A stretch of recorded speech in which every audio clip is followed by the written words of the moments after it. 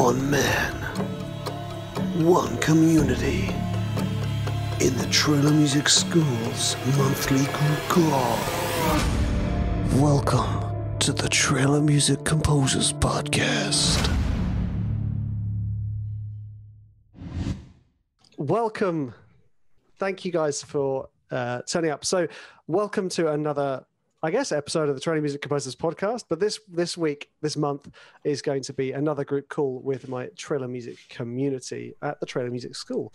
Uh, so, these guys each month are going to get a brief and they write that brief and then I give them feedback on a select few tracks and also if they've got some sort of burning questions then uh, they they can ask those questions. Uh, Minko Carlsbeek is uh, obviously the the biggest question producer of the community, uh, usually averaging about ten questions. I think we've been, you know, reined in this this month. Um, so nice to see you all. Thank you all for joining me. Uh, so, shall we start with the questions, Espen? Yeah, uh, let's start with Paul. He asks, uh, it seems there are two main types of trailers customs and releasing an album for production in which a publisher gets you the sync with the trailer house. Is this correct? What are the details we as the composer should know? How does one get custom work? Thanks so much. Okay, there's a couple of questions in there, isn't there, really? Um, Does it only work as a production music company and a custom scoring company. Pretty much. Sometimes the two worlds meet. Uh, so, what you'll find with trailer music is there'll be a bunch of composers who are called on for custom work, which is when they write to the brief, usually to the trailer, uh, not often not the actual trailer. If they do give you a trailer, they'll give you an NDA or some kind of like blacked out version of the trailer that just had ed- has edit points and things. Um, and that's the custom work. That's uh, the big prize money at the end of it, basically. But it's also very, very stressful and competitive. Uh, well, it's all competitive, but uh, there. What's so? What's happening? It's it's it's all these trailer libraries sort of putting their composers forward to the uh, trailer houses. The trailer houses are all making their cuts for the trailers, and they're getting sometimes, not always, custom uh, tracks written for those trailers. And then there's multiple trailer houses pitching for the same job. So what you'll find is that you know there could be any number of trailers having custom composers working on it. So I've worked I've worked on customs where where there's a whole team of us doing custom tracks um, for uh, a trailer within the one company, and then there are multiple companies doing the same stuff. Custom works can be really fun. I'm not a huge fan of it myself, and I say this quite a lot because I, I the thing I love about training music is the experiment experimental nature of it, but also I love the fact that I can kind of do it on my own time. Custom work, being in the UK, means that you, when you're doing custom work, it's almost like you never sleep because you'll work all day here, and then at six in the evening, LA wakes up and sends you feedback so you then work from six in the evening to two, three in the morning, go to sleep, wake up at whatever it is in the morning, six, seven in the morning, for the second round of feedback on the track from LA.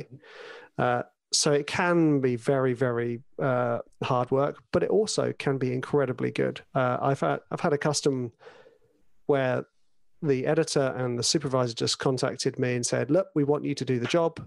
We love your work. Just do what you do." what? This is nice. Uh, so yeah, that's custom. Uh, how you get into custom is basically hmm, there's many many it's it's how do you get into anything really there's many many doors to the same room uh, it could be uh, through meeting and connecting with music supervisors through editors through trailer house owners through trailer music library owners there's many many ways uh, uh, the the way I have got custom is through obviously Vic at Elephant Music, and through I used to do custom work with Pusher as well. Uh, so that's I went through the music library company who were pitching me and a handful of other composers. The other side of it is the production music, which is basically a music library. So you produce albums on spec for a music library's brief to their deadline. And then they send out the album to all their clients. Uh, and that's pretty much it. That's where I sit very, very happily because I can write pretty much whatever albums. Oh, hey, Wenda. Uh, pretty much, hey guys, uh, pretty much I forgot what I was saying now. Uh, I can write pretty much whatever I want at you know at a leisurely pace. Customers very much like we need it yesterday, or it can be. Um, whereas working to an album is generally a lot more relaxed. You'll have sort of weeks, perhaps even months, to work on an album, uh, and you know it's it's just lovely just to sit in your own studio and just just make a load of noise you know and just feel re- a little bit more relaxed about it. But i know you know kieran and cody here on the show as well they uh, they love custom and they're very very good at it too. And john hanson who was on the on the podcast uh, from confidential music he is masterful at custom and listen to the podcast episode because he talks about custom in in like a beautiful scoring way he is scoring the trailer um, I think honestly, I just dealt with imposter syndrome heavily whenever I did custom. You know, I don't deserve this, and then I'd up a limit and produce a really below par track. Uh, so yeah. Anyway, got dark. Next question. Yeah, uh, this is from Minko. Uh, this month was Epic Synth Pitch. This focuses, in my opinion, on hook sounds or signature sounds.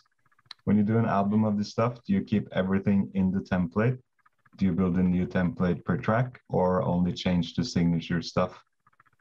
Like, uh, for instance, you keep the strings and all of that in the same tem- template. Great question. Well, um, I would say I approach this in a, a, lot more relaxed way. Organic sound design and sound design in general, for me, is kind of like a halfway house between no template and a beautifully laid out template. Uh, the thing you've got to think about if you're approaching sound design, this level of sound design, you're thinking to yourself, okay, what is it that I will need on every track? Okay, so I'm going to need drums. I'm going to need swish hits. I'm going to need pretty much all level of percussion. So have your percussion percussion stems ready in these types of tracks because they are the things that you will need on everything. Then there will be some go-to things. They're not signature sounds, but like basses, uh, synth pads, and washes. Have some stems of those, and they're, what they're going to be is they're going to be your sketching materials. They're like your pencils when you're doing a painting, essentially.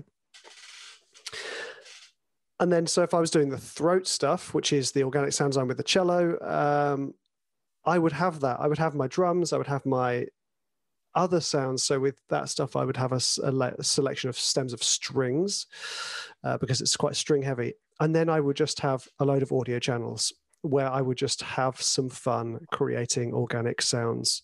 Uh, and it's just, it's, it's re- I really love this world because it's like, it's, it's got the rigidity of large templates and structures, but then it's got the free form play of sound design.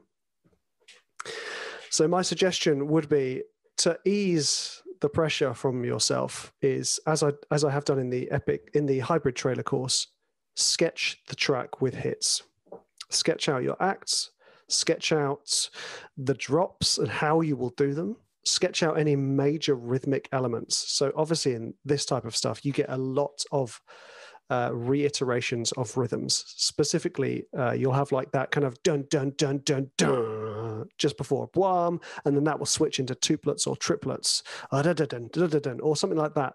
And there there'll be just ornaments of the same thing, basically just highlighting a four bar drop at any point, you know, or highlighting the boom.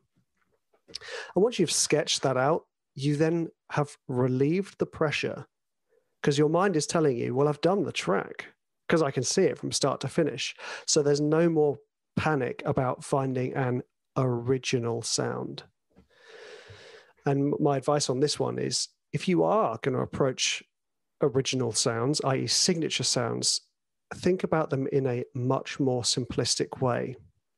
You can use a stock synth patch for a signature sound, but think about playing it differently You know, you can hear a lot of trailer composers to make their sounds, air quotes, signature, they just use pitch bends. They bend it as if it's being played. It's blown my mind. Pitch bends. I, I mean, that's how I've done it as well. I mean, that's all I'm doing on the cello. You think about what people do when they create organic sound design with an instrument. There's there's usually some malleability to the sound, and the quickest way for that is pitch. Uh, and if pitch isn't, if you if you don't want to mess with pitch, then mess with filters you know you can get you know the like the mouth Wah, opening the filter all of a sudden this single tone has so much more character if you mix the two filters and pitch then you can take a relatively dull sounding patch and make it really really interesting i think i went on a bit there but you know you get the point yeah this one is from uh, Brigitta What's the story behind the intro slash outro music of the TMS podcast? Where can we listen to the whole track? uh, I'd love to say this was an interesting story. It's really not an interesting story, Brigitta. Um, the story was simply uh, I was starting the podcast and I thought, well, all my favorite podcasts have like a characterful intro, an intro that identifies them separately from another show and i don't mean like stock music um, so a couple of one of my favorite ones has it's the it's the host beatboxing at the start I, think it's great because you're like, oh, the host's making some tunes. Yeah, this is awesome. So I thought, okay, what am I well known for? I'm well known for badly played cello. So I simply uh, played my cello badly for that intro. And I was like, well, how am I going to make it sound all cool? And then I just did all my usual stuff, which is basically just a riser and a big swish hit at the end. Uh, cheating. Uh, and then the one man was just a play on the, um, oh, I've forgotten his name, the famous voiceover artist Don LaFontaine. In a world, you know that one. Uh, that was just my play. You know, one man. That was that was the story behind it. It's that's a nice question. I like it. Creative. Yeah. I, I'm I'm I'm sorry it wasn't as sexy and as cool as it could have been, but it was. Uh, yeah. it is what it is. Right. Uh, maybe you can send it to her if she wants to listen to it. Oh, the full track. You've heard the yeah. full track already. That's it. I'm not going to waste my time writing a three minute cue if I'm only going to use 30 seconds. Uh, I wrote a 30 second cue, Bridget. Uh, I can, of course, uh, if anyone wants to hire me to produce a custom based on the intro, I will be happy to take offers. right. Uh, from Wenda, she wants to know uh, what did you get to replace your Mac that died, and how do you like it? You're going to be so disappointed in me, Wenda. Uh, so, my 2010 Mac is still active. It's still here. It's still the workhorse of my studio. I did, however, fork out quite a lot of money for a replacement. there you go. That cardboard box holds the next 10 years of my production. It's one of those uh, Mac Towers. Uh, it's basically, compared to what I'm running, it's basically a, a spaceship from Star Trek. But, you know, uh, so I'm a little bit intimidated. I know I mentioned this on uh, when I was talking to Kieran and Cody on the the banter show, as we call it. Uh, I, am intimidated by having to transfer all my sample library, not the actual transferring of the files, but telling Logic where all my presets are. Because even though you can say Logic, I've saved them all here, and it goes, okay, I'll figure that, I'll figure them all out. It doesn't. You know, you load up an old session, and it's like, please, please, please relocate this file yourself. I don't want to do that. I, I know the summer's coming, and I could potentially do that then, but Wenda, give me another two years, maybe. Uh,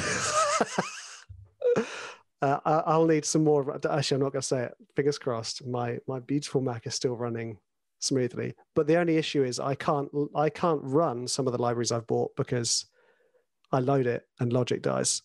Uh, which one was it? The who did uh, Los, An- Los Angeles scoring strings? They did an absolutely stunning brass library that I bought, and I was so excited to load it up. And every time I load it up, it crashed.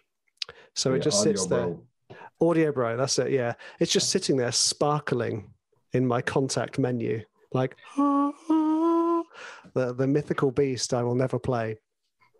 But uh, yeah, that was that's it. I'm afraid. All right, should we move on to listening to some tracks? Yeah. Okay. So, uh, just so you can remind the listeners as well as the the good people in the community, uh, what was the brief this month, Espen? It was uh, dark action sound design, just uh, pretty much the synths and uh, hard hitting drums. Okay. Before we listen to, oh, sorry. No, go ahead. Okay. Uh, oh, Paul, I'm running a 2009. Oh, nice. you have out old schooled me. Well done, sir. Uh, right. Um, let's talk a little bit about this action sound design stuff. Uh, yeah, Mike, we've got stereo running. Uh, ju- just for the listeners who haven't been on these calls before, uh, I have historically done everything in mono just because I couldn't find the button that says stereo on Zoom. But now Espen's taken over. It works brilliantly. Anyway, uh, let's talk about action sound design. This is somewhat a staple for trailer music composers. Um, and I think it's a really important staple for the simple fact that you're learning not just to write action sound design cues. If you treat these as stems for other styles of writing, then you are actually just reinforcing what you have already learned about trailer music. So much of action sound design is rhythmic interest, but at its simplest. You know, uh, we're not, I'm not talking TV spot action sound design, which is bonkers and amazing, and I love it. We're talking big feature trailers, big sounds, big drums. But then you just replace the sound design element and put hybrid synth and orchestra. The drum the drum stems are still pretty much going to do the same stuff. So it's a really it's a really interesting one because it hammers home some basic principles about structure, about build, and about tension. Can you maintain build, structure, and tension with minimal elements? It's very, very tempting with sound design to just layer a ton of stuff. But as with, you know, like a lot of EDM, you can just have one synth being the workhorse or one single sound. I, you know, I'm not saying I do that. I, I, I have a tendency of over layering, and I think that's an insecurity thing personally. But uh, you know, making up for something, obviously. Uh, so this one is a workhorse because it gets placed on so many trailers. And like I said, it does get used across the board, not just action films. It's often used action, horror, thriller, sci fi, uh, you know, basically everything except family films. Uh, they will use these, even in comedies, they'll use these because they're just fantastic. And again, it it's all over TV uh, TV promos and things, and TV spots, because action sound design cues are punchy and they are loud and they have character straight away. And if you can communicate that with your track, then you're more likely to land a TV spot. TV spots need to be loud, they need to be in your face, and they need to be, uh, yeah, basically an aural slap in the face, really. So let's. Uh, Start with, uh, I think it's here, uh, Tim Brown. His uh, track Ascent into Darkness. nice name.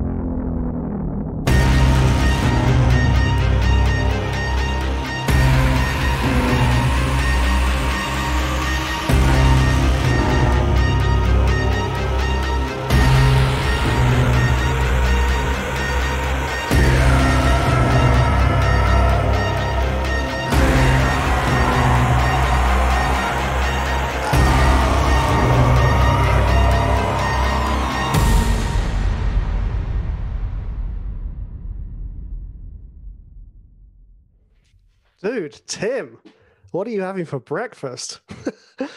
uh, wow. Okay, so let's talk about the thing that grabbed me immediately. Tim has done the thing that a lot of composers worry they can't do.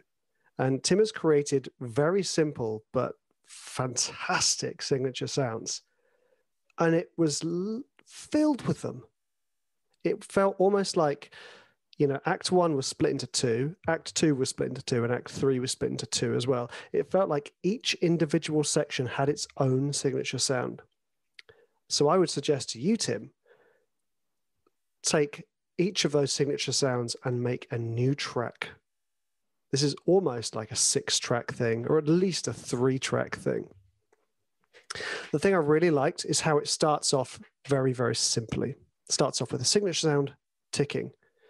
So, Vic and I, where we're on Protege, we're often talking about simplicity, especially with this stuff. You want to start small because, especially if you want to get a big sound, the way to achieve a big sound is to have a comparably quiet sound. So if you start smaller, the bigger climax will seem bigger in comparison. And this is why we put those stop downs in our cues in between, especially act two and three, because it makes the return of act three seem even louder in comparison to the silence. So I really liked how you started that nice and simply, nice and, I wouldn't say quietly, but it was simple. What I would suggest suggest is that Act One could be the tension could be built more gradually. It felt like there was sort of one section and two section. The first section with a with a long slow. Was it a long slow? Was long slow the second one? The first section had one signature sound. The second one had, I think, a longer signature sound, but the ticking sped up. I would have liked to have it feel like a more gradual increase in tension and then layer some risers.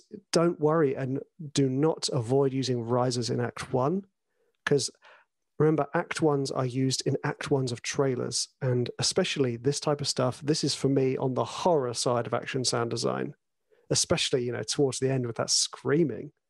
Uh, so, in horror trailers, they will have a big riser into the drop where we're suddenly le- dropped into this terrifying world. Because that transition in a horror trailer is oh isn't oh isn't this nice holiday cottage? Isn't this really this is a lovely holiday cottage. Let's all go wait wait what's in this dark room? And then this is where the tension comes in. And then they open the door and boom you know we get the drop into the flying tea cakes and you know all sorts of terrible things you know knives and forks not being separated correctly in the dishwasher. Then let's go into Act Two. For me, I think it's it had the same thing. I wanted to hear you ramp up the tension more, Tim. It was, it was again the sounds were fantastic, the hits were great. You left a lot of space, which I liked. In fact, Espen, uh, could we hear Act Two again? Uh, yeah. Thank you.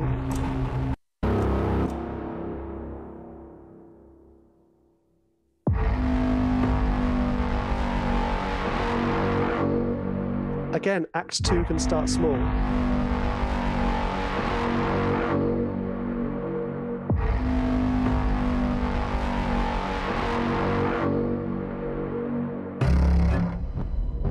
Okay, stop. Okay, so here that's what it, it felt like. We had we jumped into a separate section. It was almost like another track, or at least the third act, or at least another act of another track. You know, I wanted more of that monster cello thing. You're going, that's that could grow and become a single trailer cue.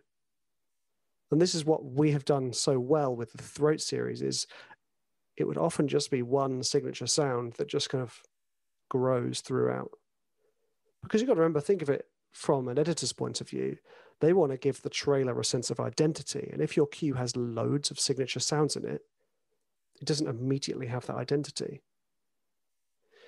So I would suggest either taking that first sort of yowling cello and making that, that and growing that act two, or starting cutting out and starting from the bit when the ticking comes in. Um, and then build up the tension. And there's such a simple way, guys. Just layering risers is a huge, huge way to bring tension. It's not cheating. it's not cheating.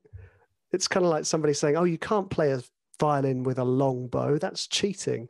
You know, it, you've got to create a sustained sound, and it can't all be low wobbling basses. You need to have sort of these glistening textures rising up from the earth. Then when we hit into Act Three, loved it. Felt massive. Uh, not too sure about the vocal. I liked it, but it kind of I felt pigeonholed the track a bit too much.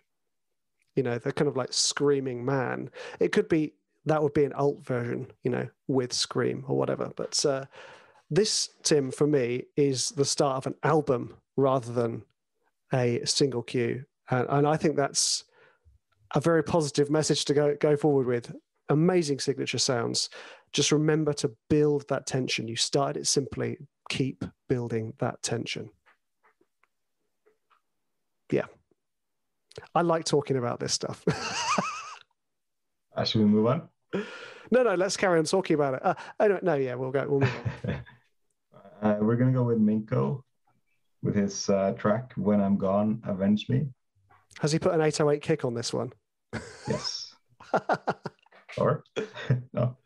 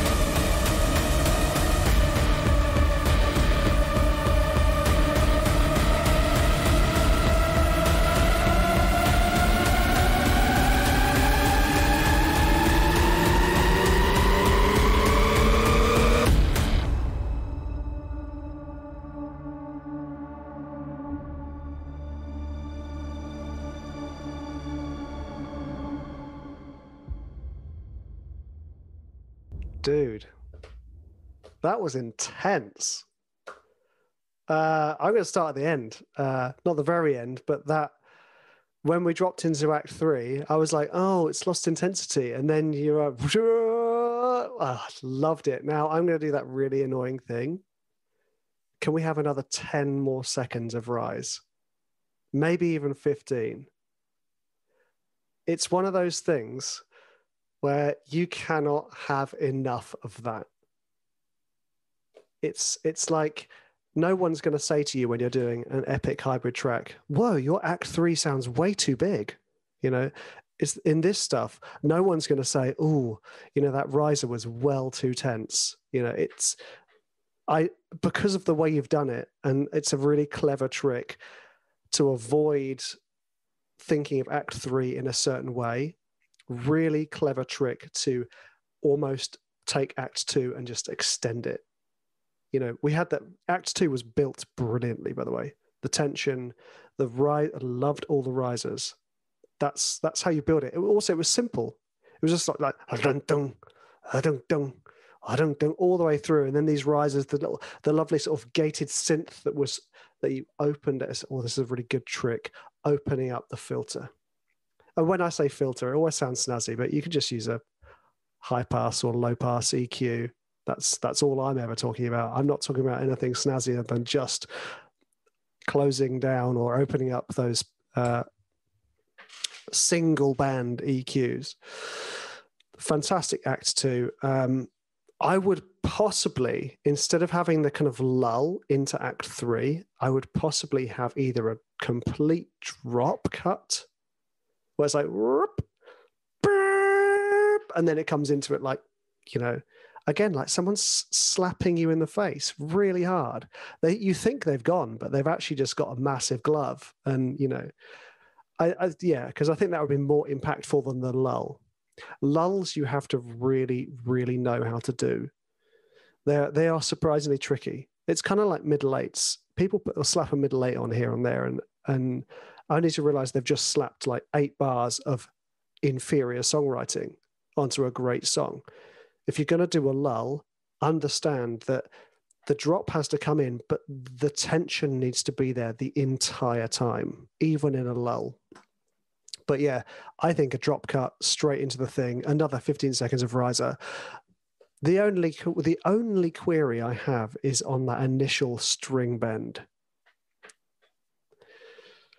Sometimes when you be, when you pitch bend too much, it sounds very keyboardy. And sometimes that's a good thing. Sometimes it's not. It's up to you to decide. Uh, I would suggest either reducing the amount of notes that are being played in the patch. It sounded like there was quite a few notes in there. Maybe maybe it was like a, an octave and a fifth.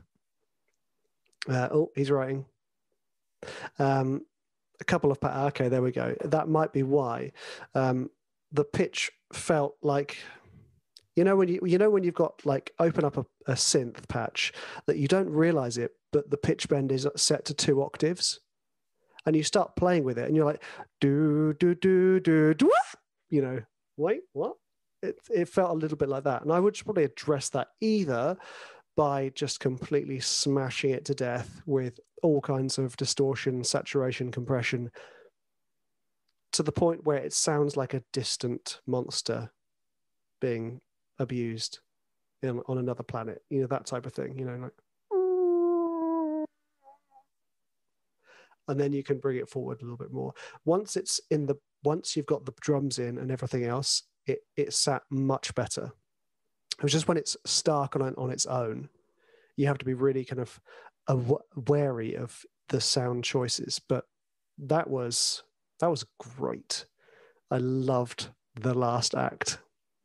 Give me more of that last act. Good job. Uh, do you want to maybe answer Paul's question from the chat? Oh, okay. How question. do you add to the track where it sounds like the same sound is just getting bigger and bigger?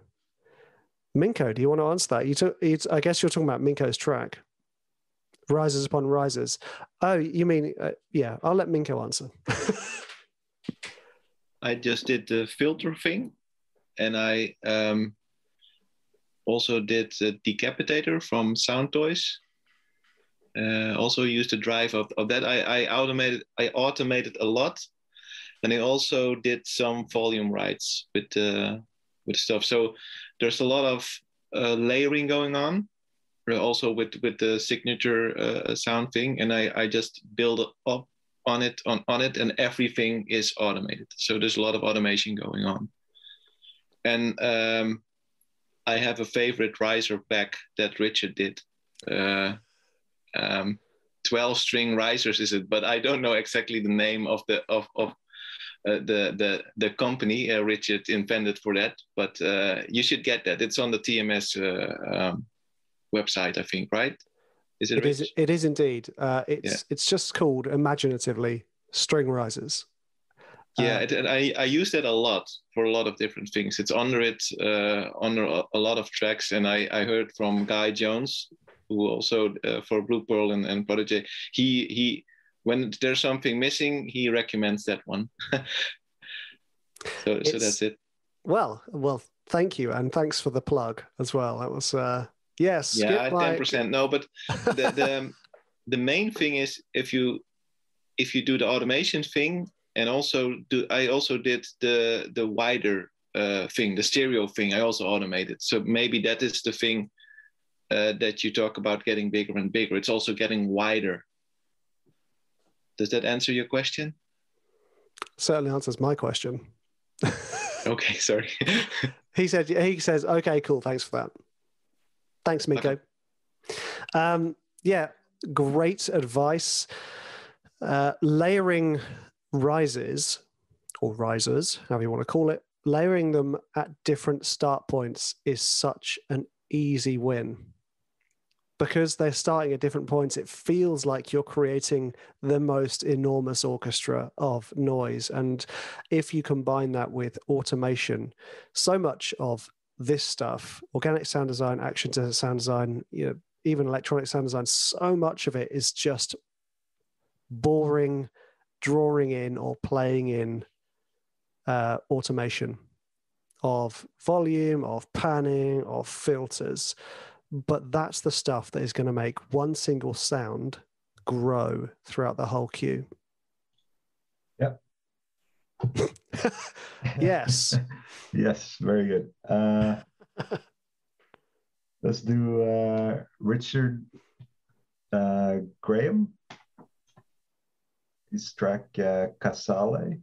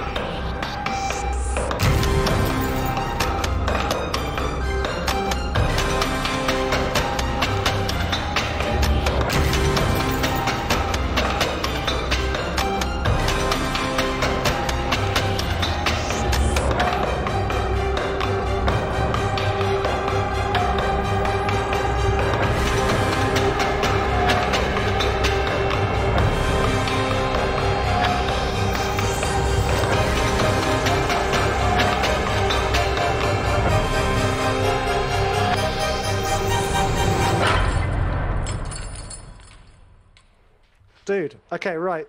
The percussion on that track is fantastic. Is that all castle related percussion? Uh, yeah. Um, I'm going to say something kind of outrageous. Uh, I think the percussion could have almost carried that in and of itself. The sounds were so interesting and unique that we, you definitely didn't need the strings. Strip the strings out because the danger with putting strings like that on a cue like this is you shift the mood into something completely different you know if you do use strings think of them more as a textural thing or think of them as just playing the root and supporting the boims or the pulses um, so i would suggest as an exercise take the strings out especially at that time when the strings come in, the percussion sounds brilliant. It's almost like trailerized stomp. Um, and I don't it's actually quite a common thing for trailers to have odd sections of percussion like that. So it might be one of those wild card tracks that lands because the character of the percussion. Um, you raise an interesting area where you do the um, the tempo shifts. Because a couple of people have asked me, what's the deal with tempo? You know, can you do it? Uh, you can use tempo changes, tempo slows and speed ups within an, a section. I don't know. I'd, I'd like I'd like to have an editor here to support my point of view, but my thoughts on is that it reduces usability as as a piece. If you had it as almost a toolkit of tempo slows, you know, as slowdowns, you know, then it could be really usable, especially those sounds you had. I would like to hear the percussion being used a lot more sparsely at the in the intro. So you've you've done something that I often fall prey to, especially in horror stuff. You know, there's this tendency with horror, especially the sound design end, to have uh, ricochets and all sorts of interesting effects from string players. You know, and what we tend to do is we we worry that we're leaving too much space, so we chuck in loads of them. Every bar there's a new kind of string effect. And in this case every sort of bar there was a new kind of percussion like leave us with a bang. Your castle rich for those of you listening richard apparently lives in a castle which i think we can see behind him. Uh, king richard. Uh, no. Uh, anyway the, the the the sound of those sounds just lovely. So keep take the strings out. There's some nice brass in there. Now, I think what we can do is take what Minko has done in his and apply the same to your brass. So if you're going to use boîmes, think of them as starting quiet or starting distant and then getting closer. So when that, when you start them, you can start them all playing up to their top registers, or at least with the with the horns, their mid to high register. But the problem is you have nowhere to go from there. So you either start low with just the tubas, uh, euphoniums, etc., or you do have the same patch playing exactly the same notes across the track, and you use a single band um, high cut filter that you open up. So it starts off as if they're in the distance, you know and you just open it up gradually. It's such a cheap trick, but it works wonders, especially if going from one section to the next, you open the filter considerably. Uh, so, yeah, take the strings out, progress that boîme in. I would probably suggest to take the tempo thing out and think of progressing the intro in a more sparse but uniform way. Because you think about imagine those hits being edit points. That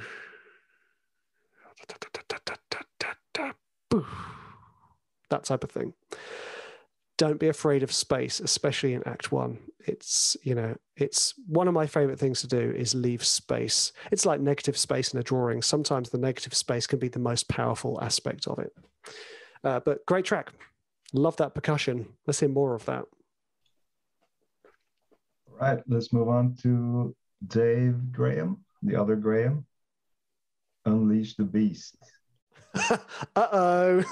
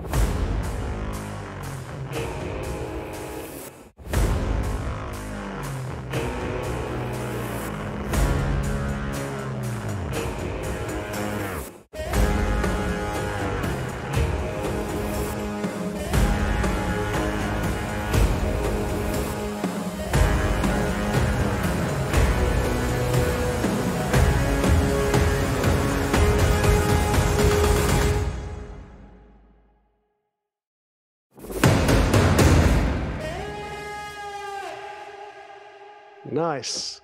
Right, Dave. For me, this was two tracks. We started off in the kind of the the epic hybrid world, and then we went into a dark swagger world. You know that kind of like pentatonic rising.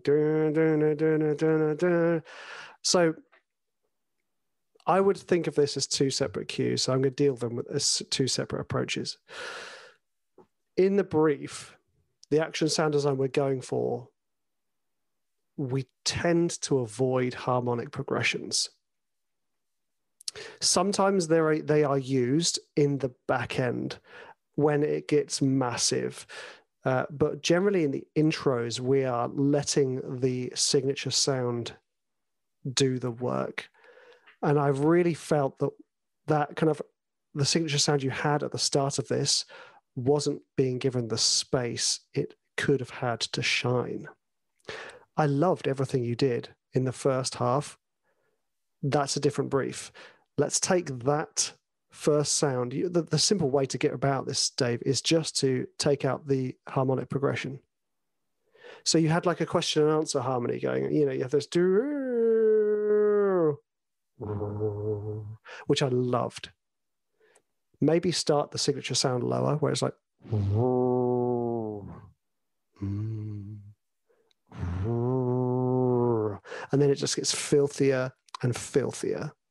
And then that progression stays on the root chord. It doesn't do anything else. It doesn't need to do anything else.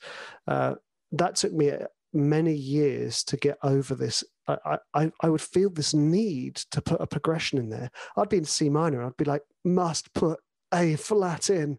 You know, it's once you get over that, it's amazing how freeing it is. And I think it would be a really good exercise to just say to yourself, I'm not allowed to use any progressions. So that's the first one. Let's hear that, that signature sound progress in and of itself, just as an exercise. You could just do a one minute 30 cue that's, that's just question and answer, but growing. Because you've got great sounds in there, Dave. Now, the second section, Espen, can we hear the second section when it cuts into the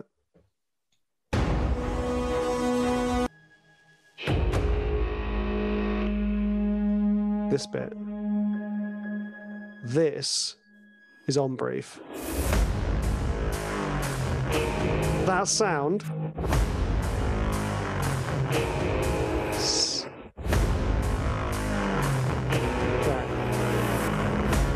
Right, thanks, Espen. Now, if you're going to do that that progression, let it jump up that minor third, but don't let it jump up to the fourth. So you've got this bring it back down to the root. It's, you know, because jumping up to the fourth immediately says to us guitarists, blues swagger. You know, we're, we're going in for a gunfight in a bar. But before that, so for this is for me this david that is the goal that's the money that section that's the bit where you see a superhero uh, you know suddenly coming into their own in act two you know they've got character they've got i don't want to say balls because they might not but you know they've got um, aggression, they've got confidence. It's uh, I really, really love that, and I would love to hear that being pushed and developed. And think of it like this: that you are not allowed to go anything other than that interval of a minor third. You have to explore the growing textures and the growing volumes. You know, and it, it it's a really tricky one to get your head around. But once you do, it's just like, wow, this is this is pretty cool. I can just stay on C the whole time. You know, eat that music education. but yeah, great. That's that middle section. Loved that. All right. Uh, we're gonna do Mike. So this probably be the last one. Yeah. Uh, here we go. Brutal assault.